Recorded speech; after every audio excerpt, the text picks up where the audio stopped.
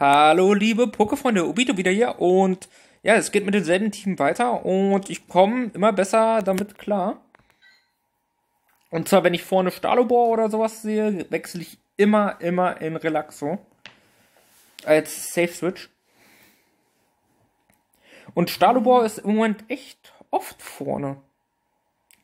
Wo ich mir schon fast gedacht habe, wieder Sumpex wieder nach vorne zu holen. Bloß Garados ist auch öfter vorne. So, was kommt? Da haben wir das Stahlobor. So, das habe ich die ganze Zeit jetzt so gespielt. Okay, er hat leider einen Meistergriff. Was aber gar nicht so schlimm ist.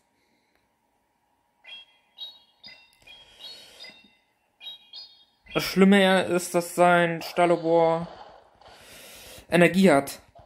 Aber wenn ich Glück habe, ziehe ich hier vielleicht ein Schild. Ja, ich hoffe, er schüttelt.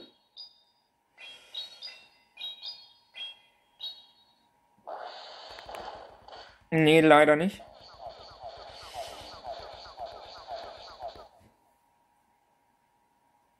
Ja, Schäden bringt dich aber auch nichts.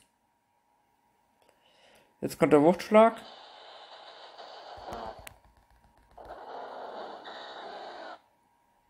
Hm. Ah ja, Togekiss. Dann hätte ich Dragoran eh nicht mehr gebraucht. Dann will ich noch den Orkan zünden.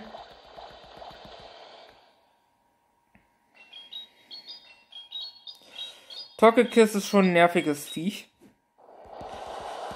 Und den schüttet er zum Glück.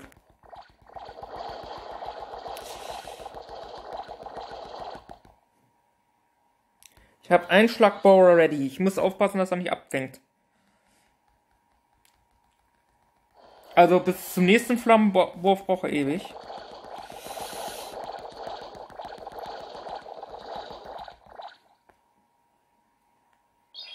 Wichtig ist immer, dass ich mir sehr viel Energie mal behalte.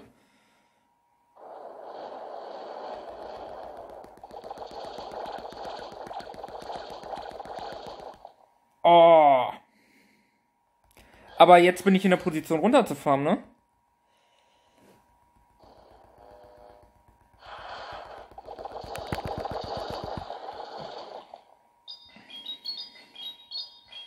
Leider hat er auch wieder Attacken zwischengekriegt.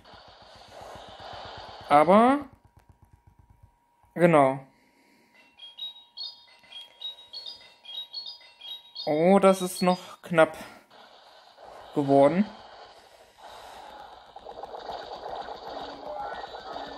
Genau, und mit nicht effektiven Attacken runterfahren. Da war Energiemanagement jetzt definitiv sehr, sehr wichtig ah, das spielen jetzt im Moment viele. Stahlhuber vorne, Togekiss irgendwo hinten gammelnd. Und meistens mit Garados noch da drin. Ne?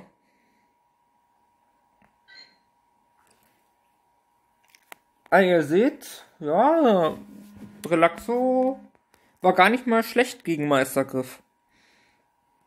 Ja, weil die Gegner halt wirklich ähm, bis das Äußerste farmen wollen, um Togekiss also nein, um Dragoran halt zu schädigen. Wobei Dragoran hat wirklich nur was gegen Meistergriff in dem Kampf geleistet. Und das war ein Feuerode. Sonst habe ich Dragoran in diesem Kampf gar nicht gebraucht. Aber es läuft mit dem Team. Es läuft mit dem Team. Gegen nächsten Legend, UQ Master. Was hast du? Mammute vorne. Da gehe ich auch in Relaxo.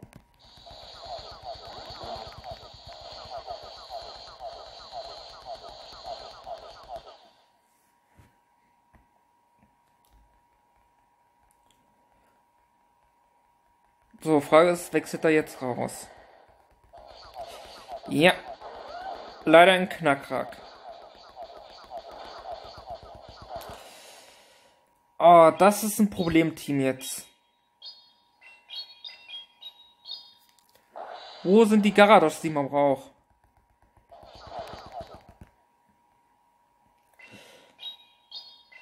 Das Gute ist, ich mache Chip Damage. Ich werde beide Schilde für Stalobor aufheben und hoffen, dass. Oh, ich komme noch zum Body Slam. Dass ich. Ja, er schädet nicht. Ich werde hier auch nicht schäden. Was soll ich Ihnen schäden? Sandgrab, Erdkräfte? Ich glaube nicht, dass du Wutanfall hast. Und wenn doch, überrascht mich. Erdwutanfall. Okay. Krass spicy. So, ich habe aber sehr viel Energie jetzt mit Staloa, aber trotzdem. Wenn er Garados hat, äh, kann ich rausgehen. Ah, er überlegt. Okay. Ah, das Vieh macht so schon Druck, ne?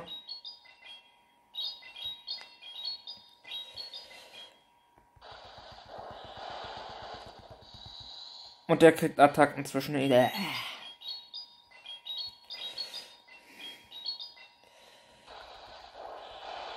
Oh ja, lässt es drauf gehen? Ja, war klar, dass er Garados. Da hättest du gar nicht, ähm. Ja, wie soll ich das sagen? Ja, braucht er nicht mal schön. Ich habe zwei Schilde, er hat zwei Schilde. Ja, das Team ist ja, ein gutes Konterteam.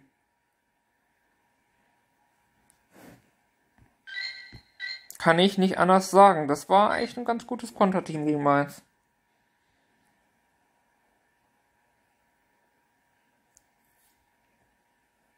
Weil wäre ich in Stalo gegangen, wäre auf jeden Fall Garados gekommen. Oder Knackrak.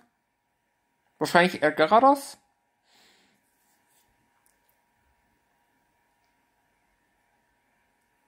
mit Wutanfall habe ich echt gerade gar nicht gerechnet.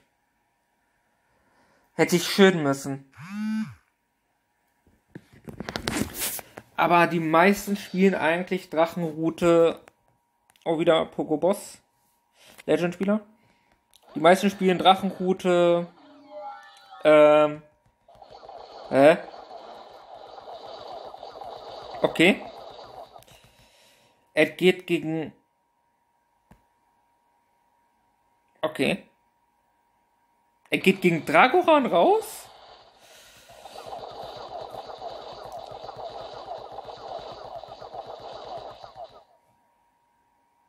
Er geht gegen Dragoran raus. Das ist hart.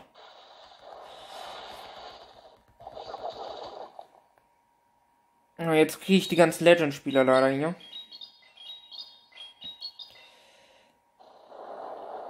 Okay, er lässt seinen Starterbot zum Glück draufgehen.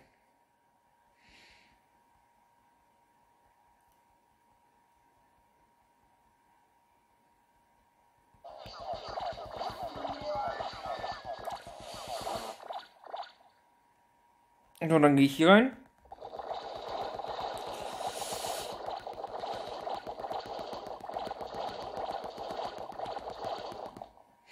Muss natürlich hier schön.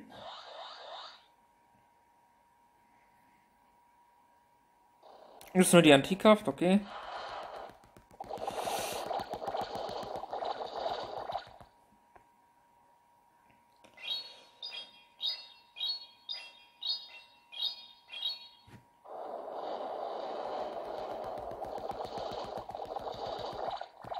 Jetzt setze ich ein.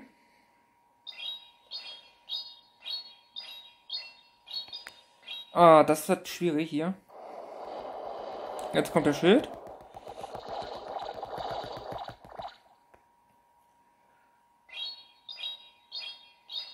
Ja, ich muss eh gleich schön.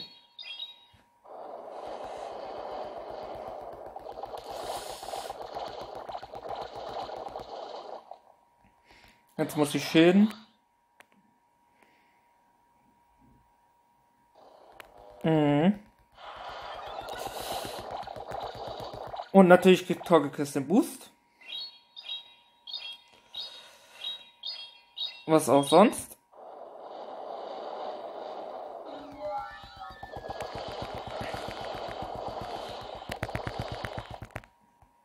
Die Attacke ist wichtig. Und natürlich kriegt Torgekiss den Boost. Schnell hier rüber. Ein Sternhieb überlebe ich. Genau. Boah, das war härter, als es sein hätte müssen. Das war gerade härter. Ja, natürlich, Dockix hat den Boost, hat mich noch unter Druck gesetzt dadurch. Schwierig. Sehr, sehr schwierig. Mich wundert, dass er sein Stalobor nicht geschüttet hat.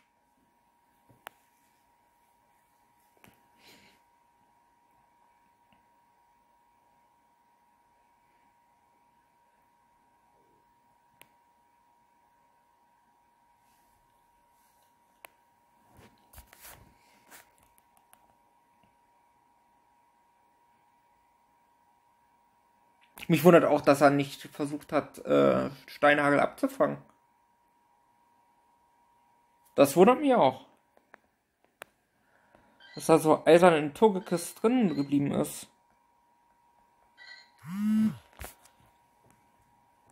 So, mal sehen, gegen wen wir jetzt kämpfen. Gegen Benjamin S. Super Sas nee, Super Saiyan Blue.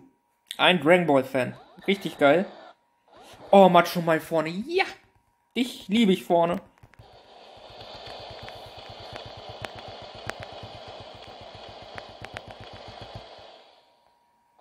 Auf Relaxe abgefangen. Mhm.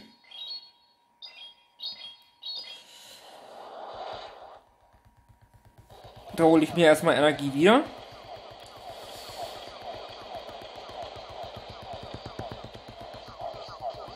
Und hier kannst du gut Kraftkoloss von mir aus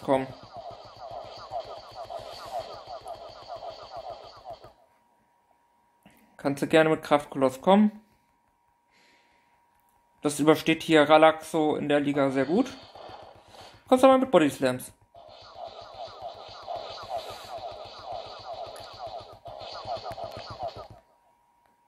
Das geht auch in Ordnung.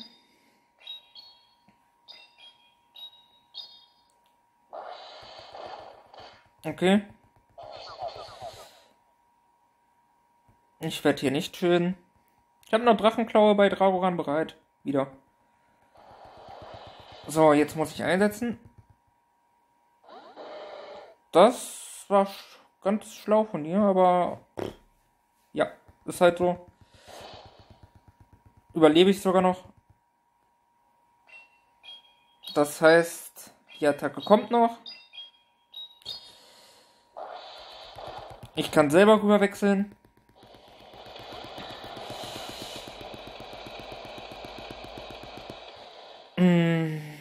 Ich überlege, ob ich hier schilden sollte. Okay, hätte ich nicht schilden sollen. Ah. Kommt Galaxo hier? Nein. Das Vieh kommt.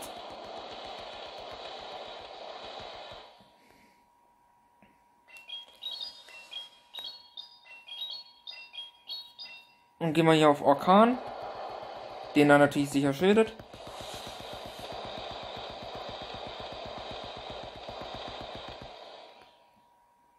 So.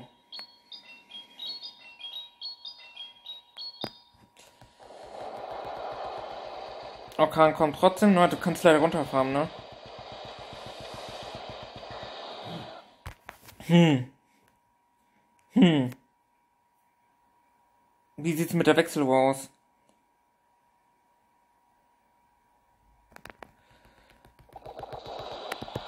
Oh, ich wollte gerade abfangen.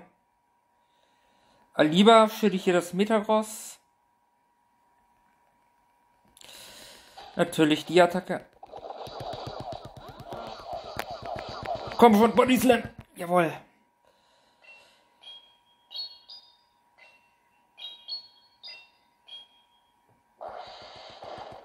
Mhm. Ja, du kannst runterfahren, das ist das Problem.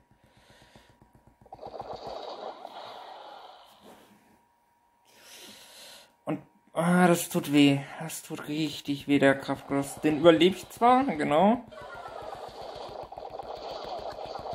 Und du hast den nächsten. Ich hätte auf Schlagbohrer drücken sollen. Nein! Hat er aber gut gespielt. Hat er gut gespielt.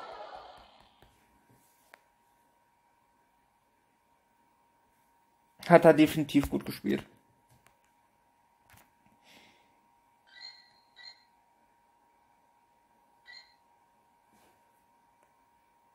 Ah, wie konnte ich das jetzt so vergeigen? Ja, ich hätte nicht die Kampfattacke schilden sollen. Das war mein Fehler. Machi, ein Hunter X Hunter Fan. Empoleon, das ist spicy.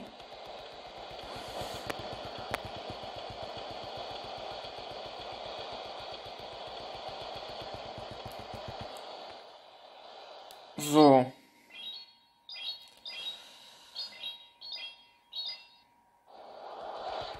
Dann gehe ich hier rüber. Na, vielleicht hasst hier jemand, ähm, wie heißt es? Ähm, Stahlobor. Ja, Wutwandfall denke ich easy. Mit Glück kann ich runterfahren. Den Nassstreif lebe ich noch. Und für Empoleon sollte ich eigentlich ein Erdbeben bereit haben. Genau, Nassstreif lebe, lebe ich easy. So.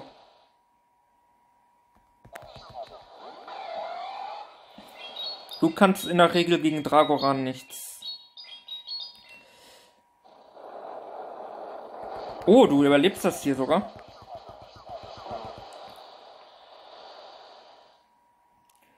Krasse Sache. Und Togekiss.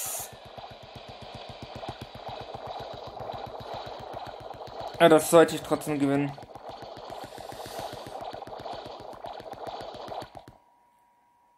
Hier einfach schilden. Hoffen, dass du nicht den Boost kriegst.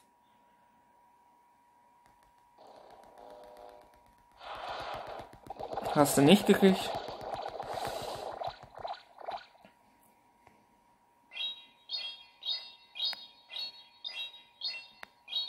Oh, leider ein Bubble verpasst.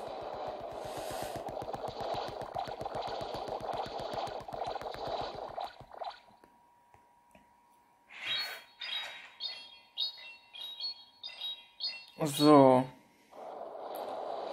Genau, jetzt ziehe ich den nächsten Schritt.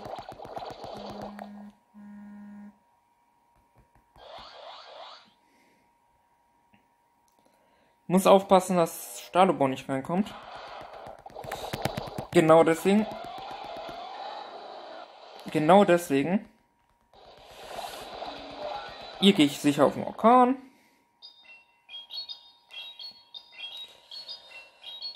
Den musst du auch respektieren.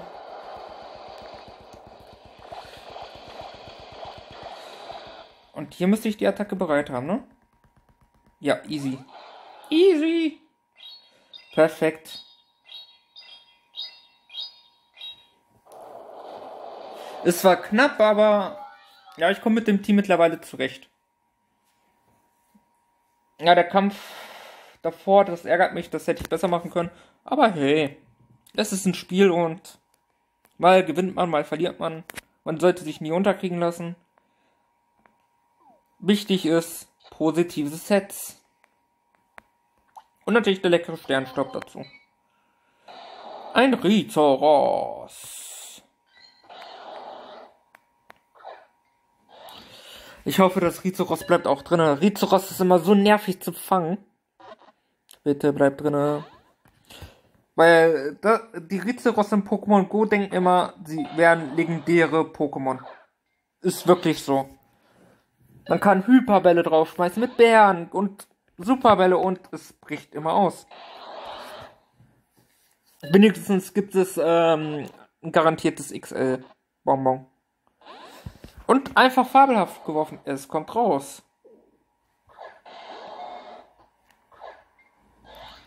So, bleib bitte drin, Rizoros. Du bist kein legendäres Pokémon. Danke, Rizoros. Und sogar mit einfach fabelhaft. Perfekt. Das gibt EP.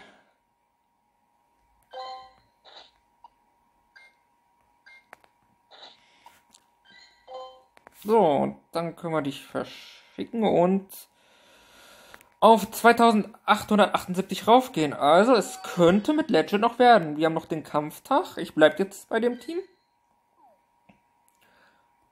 Mein Sumpex hat jetzt übrigens Schlammburge, aber das werde ich dann, wenn ich vielleicht Legend werde, ähm, dann so testen.